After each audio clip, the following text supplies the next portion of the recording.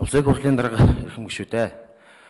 Улсын хурлын гишүүн Эс Эрдэнэ 2018 оны 1-р сарын 22-ны өдөр Улсын их хурл өргөн мэдүүлсэн жолоочийн даатгалын тухай хуульд өөрчлөлт тухай хуулийн төслийн үзэл баримтлалыг хэлцэх асуудлыг хууль зүйн байнгаараа 2018 оны 4-р сарын 24-ний хуралдаанаараа хэлцлээ.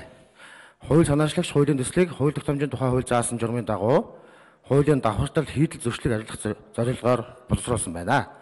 Жолоочийн даатгалын тухай хууль өөрчлөлт тухай хуулийн төслийн баримтлалыг байнгын орооны хуралдаанд оролцсон гишүүдийн олонх нь дэмжиж чуулганы нэгдсэн хуралдаанаар хэлцүүлэх нь зүйтэй гэж үзсэн болно. Улсын хурлын эрхэм гишүүдээ жолоочийн даатгалын тухай хууль өөрчлөлт тухай хуулийн төслийн үзэл баримтлалыг хэлцээс талаарх хууль зүйн байнгын орооны санал дүгнэлтийг хэлсэн шийдвэрлэж өгөхийг та бүхнээс хүсье.